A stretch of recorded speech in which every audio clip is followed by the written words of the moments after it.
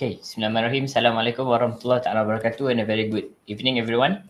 So welcome back um, to SID 3019. So today I'm just going to try and uh, push through because I have more slides than last week and even last week we, we were not able to finish everything. Okay. So uh, first off, there's two uh, important slides that was missed from last week. So I'm just going to show them now and probably we can just briefly, uh, I'll just briefly talk about it and then we'll just skip into um, this week's lecture. Okay, so last week what we've looked at is uh, we've looked at um, how you can actually produce peptides and proteins from the chemical perspective and also from the industrial perspective or biological perspective. Now, um, bear in mind that the chemical perspective that was presented um, can either be a small scale in terms of a laboratory um, production, or it can also be produced in a larger scale for the industrial perspective. Okay, so it's the same concept, but for industrial perspective, they use um, like a bioreactor or um, sorry, not bioreactor. They, they will use a bigger reactor that uh, for that can be used for synthetic analysis, or they can use a bioreactor if they want to produce it via uh, biosynthetic pathway. Now, these are uh, these two slides is um, are the examples of what um, technologies are being used. Um, so to say, what can be used once you learn about peptides and proteins. What can you do? Um, where, where, where can what can you do? Okay, so the first one is, um, of course, because it's related to biology. Um, so pharmaceuticals, the use of for health and well-being is the primary use um, of these peptides and proteins technology. Okay, so the first one um, is a technology provided by uh, Cape Biofarms. So this is actually a real product. It's not just a theoretical uh, perspective. This is what um, a company outside of Malaysia have have already established. So the basic principle or basic idea is what also we have touched from last week is that first off, you have your gene of interest. Okay, so this gene will correspond to um, a protein of your liking. Okay, and then this gene will be um, incorporated into an expression vector. Okay, so the word vector is the key terms that um, I've touched last, from last week's lecture. Okay, so you have your gene of interest, you put it in a vector, and then you transform the vector, put it into um, a, a microbes, okay, a microbial. So in this case, um, normally it's Agrobacteria tumefaciens. So that's the name of the bacteria. Okay, so you put the vector inside here so that now the bacteria or the microbes will have your gene of interest.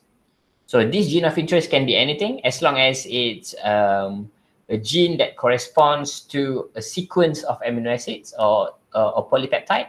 So it can be a protein, it can be an enzyme, um, it can be something that you want to create. Okay, so for example, if you just want to create um, a polyalanine, so five alanines, so you can just put or create a gene with this uh, polyalanine, uh, incorporate it into the vector, and then you transform the vector into a bacteria and then what does this bacteria do is the bacteria that infects the plant. Okay, so you can read more about Agrobacterium tumefaciens if you want, but the general idea is that the bacteria um, is the same thing as how um, COVID-19 works. Okay, so it infects humans, it goes into your cells and it, it reproduces. So it makes more copies of itself. So similarly, what happened here is that the um, Agrobacterium infects the uh, plant, okay, and then reproduce. So when when the bacteria reproducing itself, it did not just only reproduce um, the organism itself, but it reproduce everything else, including the vector that you have inside the bacteria. Okay, so once this happens, is that um, normally in the vector there are some information that will promote the production of the particular protein of interest from the gene. So once the bacteria has infected the plant, the plant will produce the gene of interest throughout the body. Okay, so on its leaf, on its branches, on its roots, and so on and so forth. And once this um, happens or completed, then you can isolate or harvest harvest your protein of interest, then you will have your products. Okay, so that's one of the technology. Additionally, by looking at more um, a chemical perspective, is sorry, I think this one is this one is also a, a biological perspective. Okay, it's not a chemical. Um, you can do it chemically, but it's more expensive. So um, because the technology of producing peptides and proteins are very expensive, if you were to do it chemically, it doesn't mean that you can't do it. There are companies that actually do it, but um, to produce it in a large scale, in a mass scale, then uh, biotechnological approach is normally the, the choice. So this is what um, Eli Lilly, uh, a big biopharmaceutical company or pharma company in the world, where they first produce um, insulin to substitute insulin um, excreted or purified from animals. Okay, so initially when insulin was discovered, um, there there was a, a very high demand of uh, insulin because of diabetes. So um, Eli Lilly, so originally uh, instead of synthetically producing insulin, because insulin structure, even though for now we looked at it and we say that you know it looks like it's very simple, we can probably probably synthesize it in our lab, but in reality, the structure is more complex than that. Even if you want to synthesize it, it's more complex.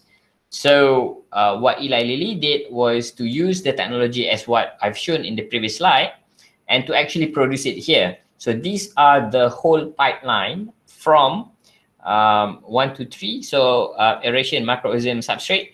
So organism here is the organism that contains the vector. Okay, same principle. But what uh, the differentiating factor between those two is that Eli Lilly um, did not produce uh, insulin, the protein insulin from uh, plants. Okay, so they are producing it from cells. So this vector can also be inserted into cells, and then these cells will multiply. Uh, if I'm not mistaken, um, Eli Lilly produced it using E. coli, so another bacteria. But E. coli does not infect plants, so it, it grows in your stomach if you if you really want to know. Um, so you put the fact vector into E. coli, and then you put it back into this bioreactor. Okay, so this is the bioreactor, and then you feed the E. coli with all media, proteins, uh, amino acid, not proteins, probably amino acids, uh, vitamins and whatnot, so that it will grow and then it will produce your protein. So after passing through all these steps, and then finally what you can get out from there is insulin catalyzed in freeze dryer. So it's a pure insulin product where they can now capsulate that and um, sell it as a product. So those two are the um, um, two examples of how um, uh, this technology, protein and peptides uh, synthetic pathway, is currently being used by the industry. Okay, um, so that's that's about it. That's that's all from um, this or last week's lecture. So today's lecture will be about something which is about my PhD project itself. Not not really about my PhD project, but it's related to my PhD project. Um, so if you want, you can quickly just scan the QR code uh, and put the code asynchronous lecture next, next week. So it's a reminder of you guys that we will not have a live lecture. I will post a link, um, uh, a video in Spectrum Okay, so please use or watch the video from Spectrum because um, as, as you have noticed for the past two weeks, what I'm doing during the lecture is I'm asking you guys to participate using Poll EV, right? So I post some questions and then you can participate by answering the, the questions and then I will discuss about it. So if I were to do a, an, a recorded lecture, obviously I cannot do that because if I were to do it, then you know it's not a live lecture, so you cannot actually um, do anything about it. So um, what I'm using now uh, or next week is a platform whereby a platform in the Spectrum whereby I can embed, I can put questions inside the video, and then you can participate by clicking on the correct answers from the um, the questions. Then of course, uh, I will have explanation and whatnot inside the um, platform as well. So uh, please use Spectrum and do not use YouTube to actually watch the video, even though the, the video will be in YouTube. But um, during while watching the lecture, please use Spectrum. If you want to rewatch the lecture, um, then by all means, you can use uh, YouTube, okay? Because they, there will be questions posted in um, the Spectrum that will not be available if you were to watch just using YouTube. All right, so as usual, I will start off with some questions based on what you have learned. So uh, if you just can quickly open your Paul EV app and then key in um, the username, okay, Hadi 049. So I will activate the first question. That one is not the first question. This is the first question. IUPAC system recognize 20 naturally occurring amino acids. Among these, which amino acids or acids can produce an ionic charge? So um, I'm hoping that the link is live. Okay, so the link is live. Um, please uh, join in. Oh, somehow it's not um, Okay, my internet is slow. Can you guys hear me or I'm just talking to myself? I'm hoping that you can. You guys can hear me, right? Okay. All right, thank you.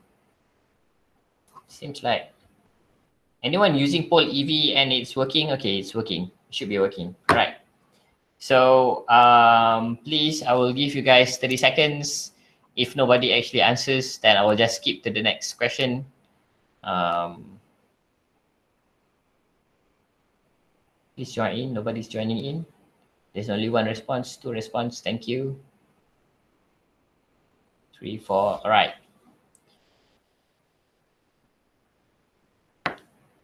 Okay, so this type of questions that I will post um, using Spectrum. Okay, if you watch the videos on YouTube, then you will miss all of these questions. So um, if you want if you want to have like embedded tutorial during the lecture, then uh, please watch using um, Spectrum. Okay, so um, five more seconds. Four, three, two, one, and zero. Okay, so the correct answer for this is somehow I cannot draw it here. The answer is all of these. Okay, please recall, um, remember correctly. So what it says here is produce an, an ionic charge. So I'm not talking anything specific about the um, side chain. Okay, remember that is the um, structure of an amino acid. Okay, and then you have your side chain, right? And these side chain are from the aspartate, glutamate, arginine, lysine, proline, glycine, um, and everything else. Now, the question asks which one um, you can produce an anionic charge. So an anionic charge is a negative charge. Now, if you're looking at the structure, which one can form an ionic charge? The answer is everything because all amino acid has a carboxyl group and the carboxyl groups can form an ionic charge. Okay, so nobody got it right, which is fine. It's, it's just a trick question. Right, uh, so second question, I'm activating it. All right, which of these intermolecular forces is not present in a peptide molecule? All right, so which one is not present in a peptide molecule?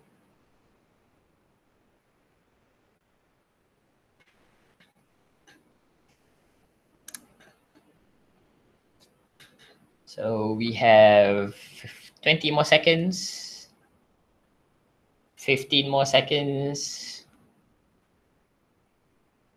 10, 5, 4, 3, 2, 1, deactivate. Okay, so the correct answer is hydrokinetic interaction. Okay. Um, if you recall, if you go back, um, I don't think hydrokinetic interaction actually exists. Again, that that is a, a makeup answer that I'll I just put it in. So um, the the 63% of you got it right. So well done. So that is the um, correct answer for question number two. Okay. Question number three.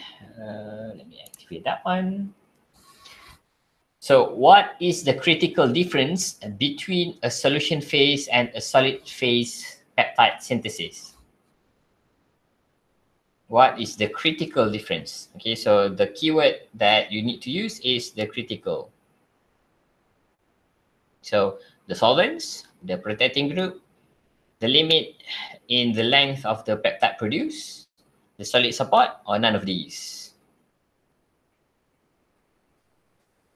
Six. So I will leave you guys another 20 seconds.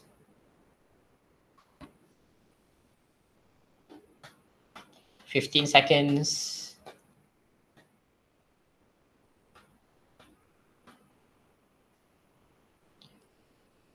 Five seconds, four, three, two, one. All right.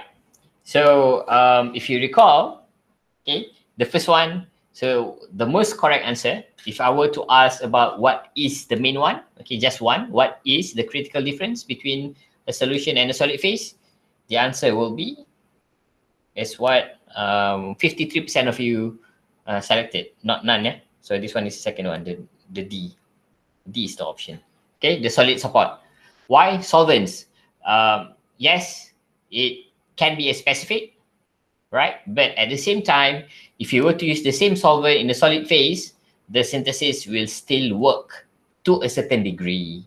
Okay, it's not the main criteria, but to a certain degree, it can still work. Number two, uh, for example, okay, so the solvents, for example, there is a research article um, um, saying that if you were to synthesize a peptide in the solution phase in an aqueous, okay, for example, um, if you were to produce a one mole reaction, you will probably produce um, about 0.7 mole of product. But if you use the same system in a solid phase, but you increase uh, like a uh, hundred fold increase in the number of the reactants, then you can still get um, the same amount of product produced. Okay, it's just that um, you need to spend more to get the same amount of product. So, but it doesn't mean that uh, if you change the solvent, it will straight away not work. Okay, so it is a, a criteria. Um, it is one of the differences, but it's not the main differences. Okay, the main difference, not differences. The main difference. Okay, second one, protecting group. Now, uh, this is very unique because yes, protecting group may have um, an important role in differentiating between a solid phase and a solution phase, but there is always a but.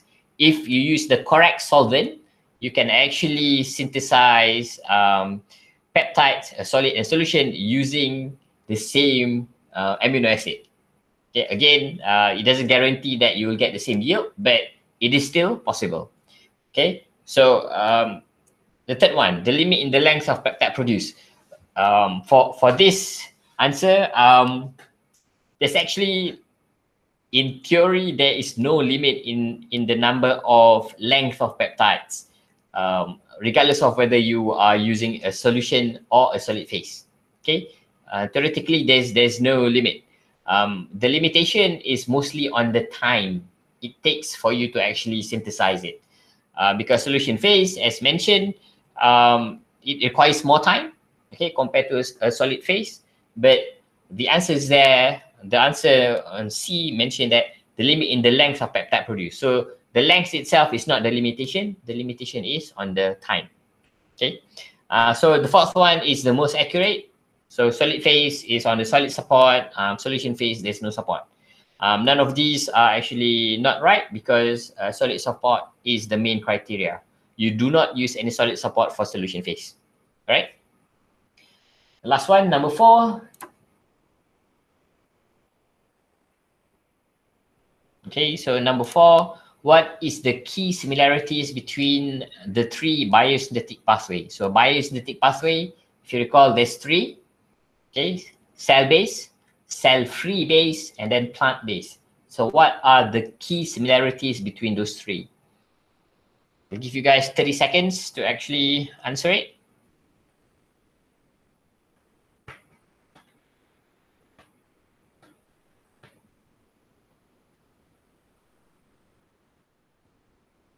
Hoping that nobody actually selected D. Okay. D is just there because I have no idea what else to write. And it's okay to choose E if you don't know, if you don't recall. Okay, 10 more seconds. Five, four, three, two, and one. All right. Okay. All right, so uh, okay, um, I thought nobody wanted to to choose. I am not sure. Uh, okay, so the main the main key differences is of course vector. Okay, but again, um, a cell free does not um, does not require to have a vector. Okay, um, but to have a vector is still fine because having a vector, if you remember the um, structure of the vector that was drawn, it's actually a secular okay? Or something which is secular in biological terms is actually very very um, uh, stable against thermal degradation against enzymatic degradation. So if you were to choose um, to use a vector for a cell-free based synthesis it is still okay.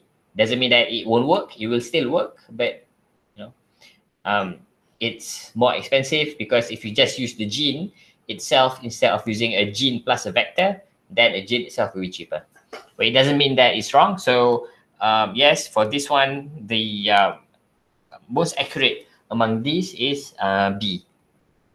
Okay, so uh, for the last one, um, if you guys can quickly um, answer this, ask me something that you would like to know.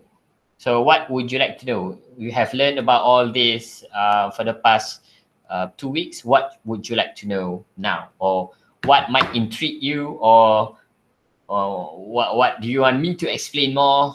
Just quickly um, shoot it out. If there's any. Otherwise, you know, I will just accept that uh, my lecture is perfect. Nobody asked anything. Even though it's not. Okay. Anyone? Anyone wants to ask me anything? I'll just leave this link open so that if you are using your mobile, then you can just quickly use your mobile. Um, so what I will do now is I'll just go through our um, lecture plan, so the updated ones.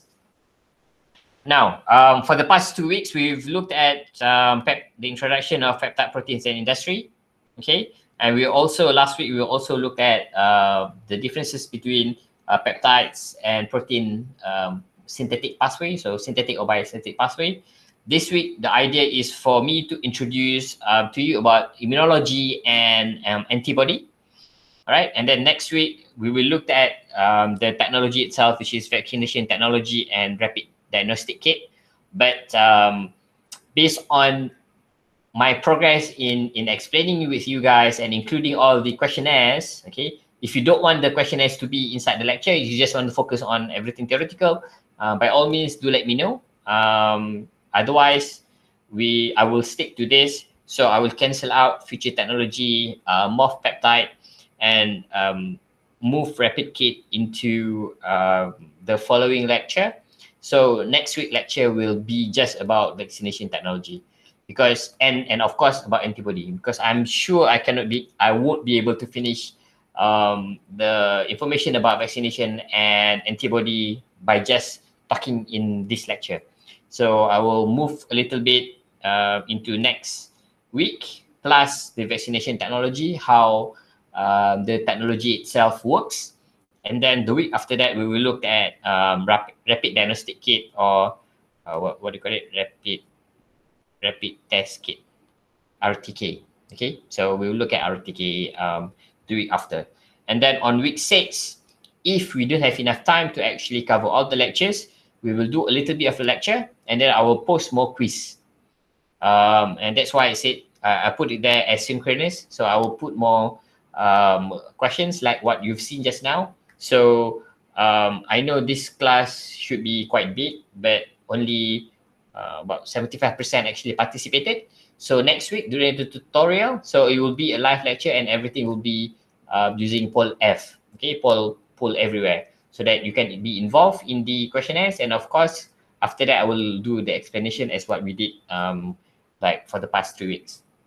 Okay, so that's why I said tutorial and discussion. And then on week seven, we will have uh, you will have your first quiz, um, um, which is under whatever we have covered for the past six weeks. Okay, so we will have a quiz on week seven. Um, I'm still in on the discussion to either do a quiz number two, um, a standalone quiz, or it will be in a combination with Dr. Ikramo. So that one is we still um, uh, discussing about it. Okay, and then week um, eight, nine, and ten, which is an asynchronous. I will talk about HPLC, mass spectrometry, and NMR. Um, even though you guys, I'm sure you guys know uh, a little bit or at least know something about HPLC, mass spec, and NMR. Uh, but this lecture will primarily focus on peptides because as you've seen, peptides are micromolecule, so you consider it as a micromolecule compared to when you um, when you learn about organic chemistry, the third year or first year, second year organic chemistry, it's more on small molecules. So the molecules are uh, quite small compared to if you were to um, um, analyze peptides. Okay, and then again we have tutorial two, uh, which will be related to the uh, analysis method. And then uh, on week 12 and 13, it will be again a synchronous, whereby we will have a panel talk. Uh, I've already have someone in mind, so that one will come from a UM staff, which handles a lot about um, commercialization and IP. And then for panel number two, we will have uh, a person from NPRA. So NPRA is our pharmaceutical regulatory um, agency um, to actually um, talk to you about um, the process of validation. Okay, for example, vaccine validation or GMP, which is a good manufacturing practice, meaning that if you were to produce a vaccine, what are the key things that you need to do to be able to actually produce a vaccine? Okay. All right. Oh, it won't change. So for today, we've looked at part one of all of our vaccination. So how do you actually require, um, oh, not require, acquire immunity? So we all know that uh, if say you encounter a disease, um, after a while you get healthy again. Okay, so why do you actually get healthy? Uh, what does your body actually produce? And then if you were to um, encounter the same disease, for example, if you were to, to think about the COVID situation, right? So you might have read in the newspaper saying that um, once you um, say, for example, if you have been infected with COVID-19, um, and then you get healthy, the risk of or the possibility that you will acquire another COVID-19 disease is rather low. Okay, so you might have read it or you might have uh, watched a YouTube video or, or listen to a radio or something that mentioned about something like this. If you have uh, acquired COVID-19 and you get sick and then you get healthy, and then you might not be able to get reinfected the second time around. So what is actually happened? Okay, so this is what this lecture all about. It might be a little bit biology, but um, towards the end of the day, uh, it is for me to make sure to to try and um, make sure that you understand how you can actually adapt this idea of biology and then put put it in a chemistry perspective. Okay, so vaccine of immunity. So the first thing that you need to know is you need to understand what is the concept of immunity and then what is the concept of vaccination. So those two things are different. So immunity is when, um, I, will just read the text here. So a person is exposed to a pathogen, whether symptoms are present or not. So in the same case of COVID-19, whether it's a asymptomatic or with a symptom, okay, and will naturally develop immunity against the disease, provided that of course, you need to be healthy again. So you get sick, um, a virus or something, a pathogen infects you, you get sick, a fever, nausea, and whatnot, and then you get, or you might not get anything, Okay, for example, if um, someone in your house is sick with a fever, for example, okay, and you are staying in the same house, so uh, by theory, you should get sick as well, okay, because the virus is there, and then that virus is actually infecting um, your family members.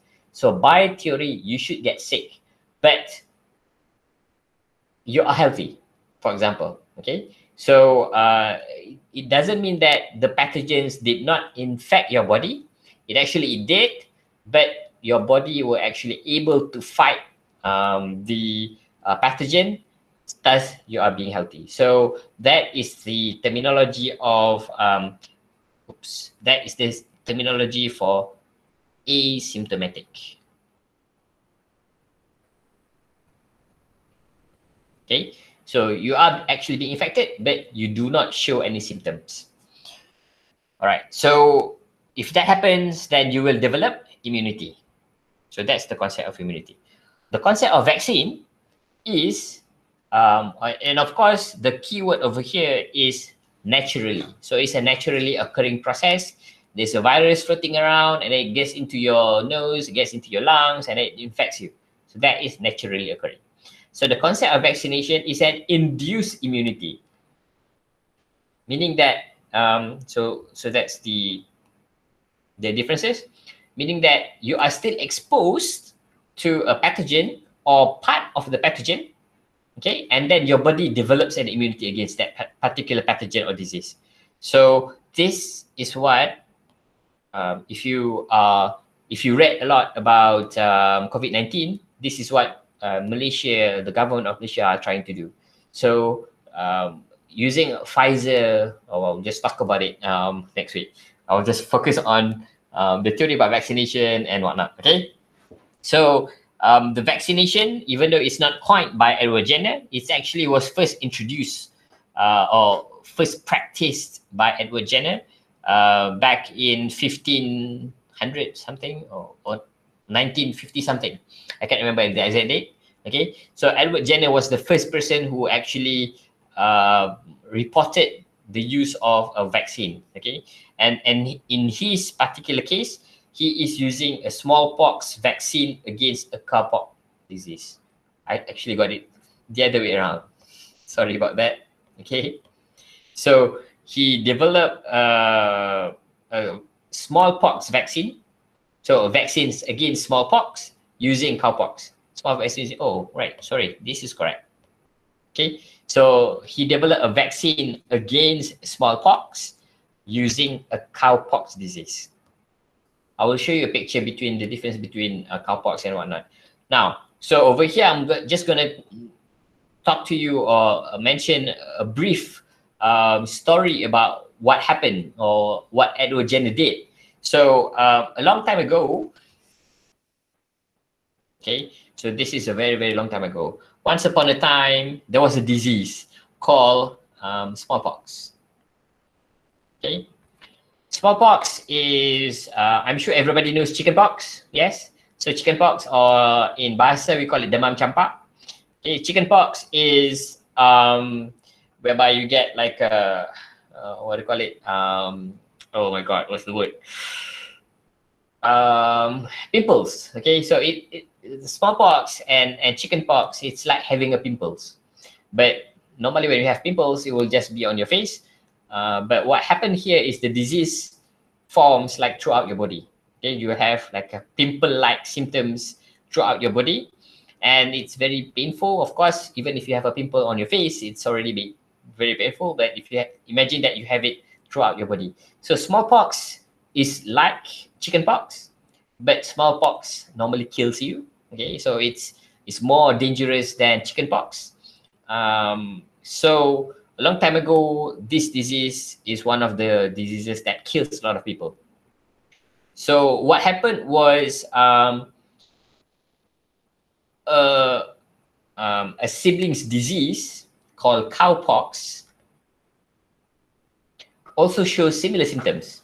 Okay, but um, cowpox, as as the name mentioned, is more um, prevalent in cows. Okay, so in animals, so in cows, it doesn't really infect humans uh, at all. Um, it does, but if you were being infected by cowpox, the symptoms are very, very mild. So you probably have like one pimples and then that's it. Okay, so that is cowpox. So what happened was um, Edward Jenner noticed that um, the people who are actually working with um, cows, they, they, they develop this um, pimple-like um, structure um, around their hands. Okay, so uh, it's, it's an indicator that, uh, of course, at that time, nobody knows what, what those are. So Edward Jenner thought, huh, it, it looks like a smallpox. So he wanted to try and see if um, something will happen if you actually infect someone who have not been infected by a cowpox. Okay, so meaning that if you have um, someone who works with a cow, okay, a person number one works with a cow and then he developed pimple-like structure on their hands, and then you have someone else who is probably do a clerical work. Okay, so person number two does not work with animals. So he was never exposed to cowpox disease. So Edward Jenner wants to, to see if he managed to um, infect person number two using the pimples-like structure from person number one. Okay, so the idea is um, because he noticed that a lot of people who develop smallpox disease does not come from people who are actually working with animals. Okay, so he kind of like uh, noticed that, huh, um, a lot of people who work with the animals, they don't have smallpox. So that's the that's the ori uh, original idea. So he did this. Oops, what happened? So he actually did this. So he actually um, take the pimple-like structure from the person who are working with animals, so develop this cowpox disease at that time, and then put it into a, another person, a healthy person who have not touched a cow at all. So um, person number two, of course, because um, you are actually transferring a disease, also develop the um, uh, pimple-like structures on their hands. And um, he noticed that as more people being tested and develop this cowpox um, disease, the smallpox number of people who are actually develop smallpox are actually reducing. Okay, so that is the whole story. Um, so once this happens, smallpox disease reduces. So reduces uh, at that particular time in terms of the number of death. It doesn't mean that you don't develop symptoms, but in terms of death ratio, so the number is greatly reduced. Okay, so this is the um, the the first discovery and um, why Edward Jenner actually coined the word vaccine, but it's not vaccination, of course. Um, it's an Italian word, vaccine, vaccina. I can't remember the exact word, exact word, word. Okay, but this is the first discovery of uh, vaccination. And then, of course, being a scientist at that time, Edward Jenner published um, his findings and then other people follows and then voila vaccination was discovered so um, if you are actually like you know a person who against vaccination um, then i'm hoping that this story actually kind of like give you an idea that um, vaccination actually works okay it's not just um, a theory it's not um, something that uh, someone or, or the Illuminati, for example, uh, created. It's actually a real life situation. So we have never exposed to this because when we were born, we were already being uh, shot with BCG and whatnot. Okay, so but uh, a long time ago when vaccine was not a thing, so a lot of people died, and um, Edward Jenner, the first person who discovered this, managed to contribute to everyone um, by reducing the number of diseases. So these are this is the concept of vaccination, and this is what um, say for example Sinovac is using. So the same technology, but we will go into a bit more detail um, next week. So this week we will just focusing on uh, what happened next. Okay, so you have put in cowpox in another person, and then suddenly that person is kind of like immune against smallpox why, what actually happened. So we will go through that soon. Okay, so immunization via the use of whole pathogen or its biological component has been one of the most successful public health intervention. So this is um, whole pathogen is what um, Edward Jenner did. Okay, so he used the whole pathogen from a cowpox in, um, to try and develop um, a smallpox uh, vaccination or immunity against smallpox.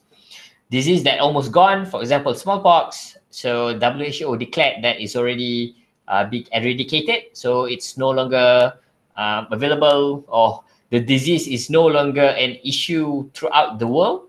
Okay, polio and measles. So polio, the number is getting reduced.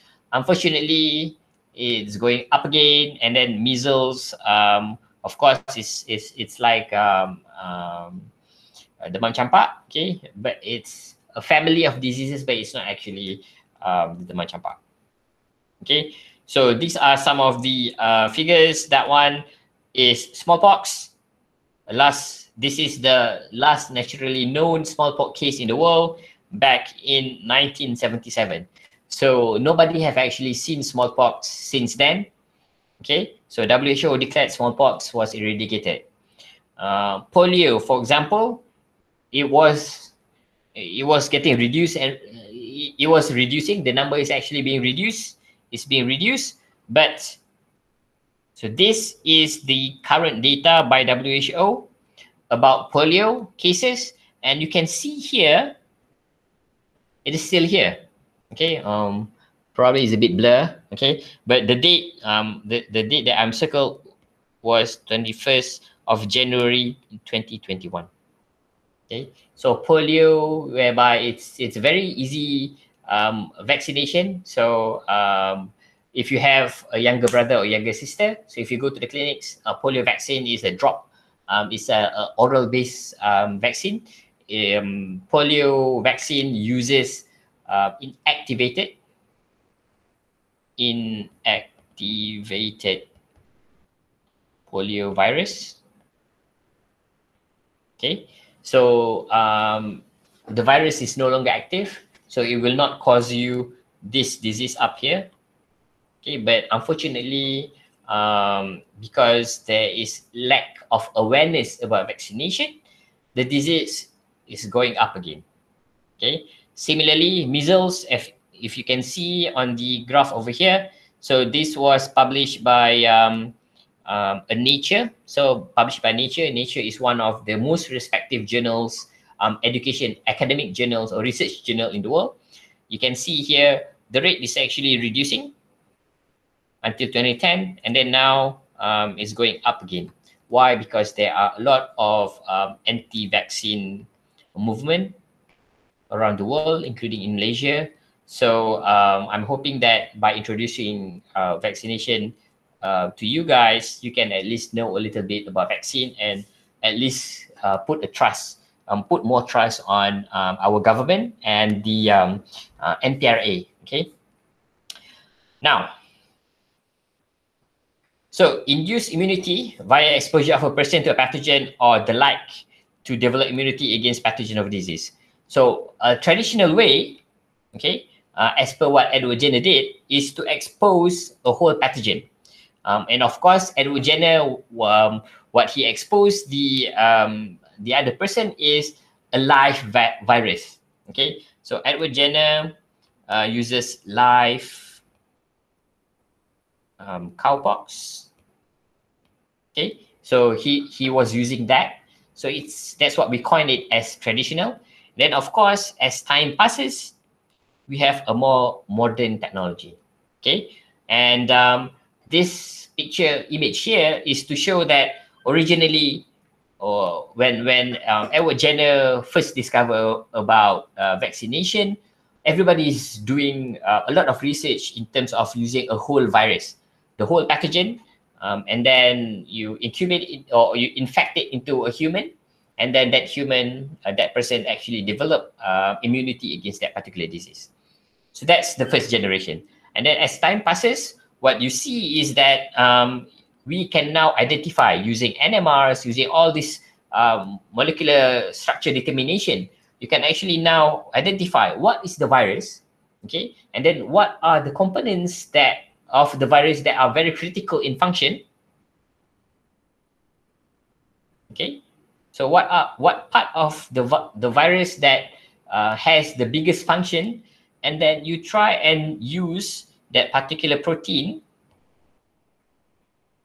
that has this function and produce a vaccine. Okay, why? Because immunity means that it blocks the, the virus from doing whatever it needs to do. So if you identify a function of a critical function of a, a virus, for example, um, a virus normally works by infecting um, other cells. So it gets into other cells. So for example, if this is a cell, okay, so the virus has a receptor, receptor on its surface that binds to one receptor on um, on the cell, and then it can go into the cell and then reproduce. So it makes more copies of itself. Okay, so that is a one particular function that is very critical for viruses. So because of this, um, people now can know um, on the surface of a virus, there are functions, there are proteins, for example, or, or glycoside um, that have a certain function, a critical function. So we can probably use this and produce a vaccine. Okay, so the next generation is to use a, a protein-based um, component or a sub-component of a particular virus or pathogen or bacteria as a vaccine. So this is kind of like a second generation. And then as we know a little bit more detail, um, you know that uh, to produce a whole, a big chunk of a protein like this, it's very expensive. So can you actually use a small section of the protein to actually produce a vaccine? Okay, so this is what people are trying to do. And then by doing research on this, the answer is yes. Yes, you can. Now, what you can do is you can actually just synthesize a small chunk of a big protein of a big virus and then use this as a vaccine. Now the cost becomes cheaper and at the same time it will work because now you know that what you are giving to the uh, patient or, or a person is exactly what you synthesize okay compare if you were to produce it in in the bacteria you can purify it and whatnot but then what you give is the whole thing okay the whole protein so um, the protein might have uh, again I, I, I reiterate might have some um, side effects that we don't know for example, allergy, or it might do something else. But if you just use a segment of that particular protein, then of course it won't function.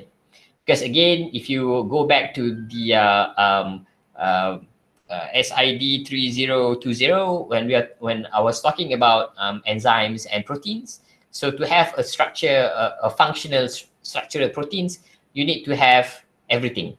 So it needs to have um, uh, a 3D function, um, three-dimensional um, topology. You need to have uh, an active site and so on and so forth. So if you just take a big, a small chunk of the whole protein, then of course you will not have anything. So it will not have any have any function. So this is what have been um, used for quite a while, and then the newer technology developed, which is the mRNA technology. So of course, we have the DNA technology, but then um, DNA technology um, give about the RNA technology, and this RNA technology is what being used by Pfizer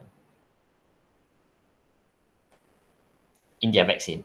Okay, so this is what um, our frontliner are currently having. So this is basically the idea of um, vaccines. I think I will just stop here. Okay, and um, I will continue this as um, a post a, a, recorded lecture and hopefully you guys can um, view it from spectrum. Okay? So thank you so much and um, that's it. Thanks.